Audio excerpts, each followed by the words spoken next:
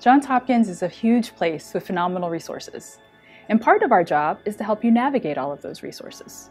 For one, there are two academic medical centers associated with the Johns Hopkins School of Medicine, Johns Hopkins Bayview and Johns Hopkins Hospital.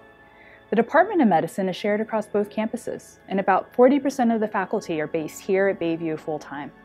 That means over 200 faculty, all leaders in different areas of research, clinical care, and medical education, are here at Bayview to guide your training and experiences. The Bayview campus itself is a thriving place with over $130 million of sponsored research funding on this campus alone.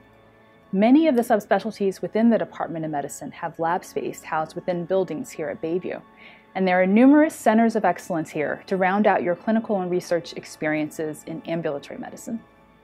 There are also two branches of the National Institutes of Health on the Bayview campus, the National Institute of Aging and the National Institute of Drug Abuse. This means that residents with interests in age-related research and chemical dependency have additional access to cutting-edge research and investigators in these fields. This campus is also a leader in medical education. Faculty here at Bayview continue to lead the way in areas like curriculum development and faculty development.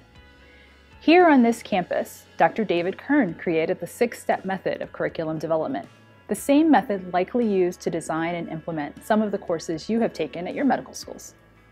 And even if you're not planning for a career in medical education, you can rest assured knowing that the faculty who have trained some of the best medical educators all around the world are the same faculty that have helped develop our own curricula, and in some cases are the same faculty from whom you will learn directly, both in the hospital and in the clinic.